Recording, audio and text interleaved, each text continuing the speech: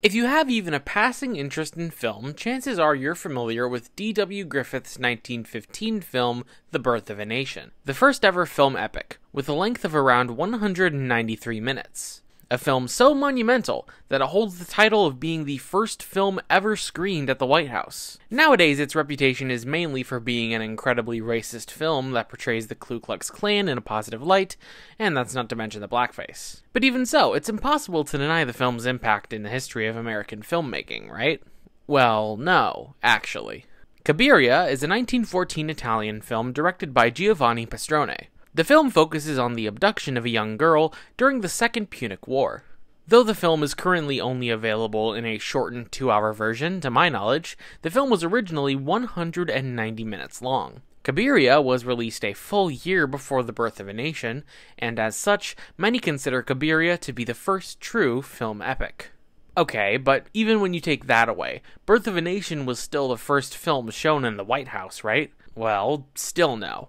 The Birth of a Nation was shown in the White House in February of 1915. Eight months earlier, in June of 1914, another film was shown on the White House lawn. That film was, unbelievably, Cabiria.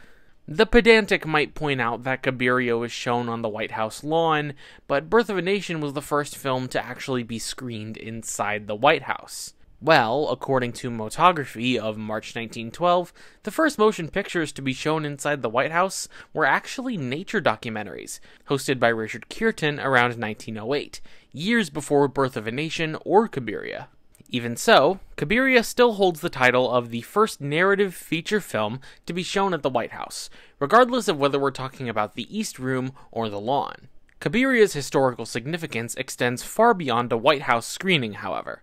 Martin Scorsese, who is probably the greatest living director, all things considered, said in a statement alongside the 2006 restoration of Cabiria that Pastrone invented the epic and deserves credit for many of the innovations often credited to D.W. Griffith, specifically citing the moving camera as one of Cabiria's innovations. So, why do we typically place D.W. Griffith and The Birth of a Nation on such a high pedestal, when that pedestal ought to be reserved for Giovanni Pastrone and Cabiria?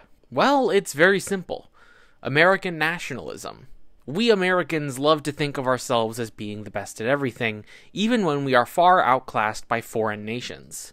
Think about how many foreign films are subject to less than superb Hollywood remakes. Americans want the narrative to show that Hollywood has always been the cornerstone of innovation in the film industry, but the reality is the American film industry was and continues to be more concerned with turning profits than innovating the art form. So go do yourself a favor and watch Cabiria.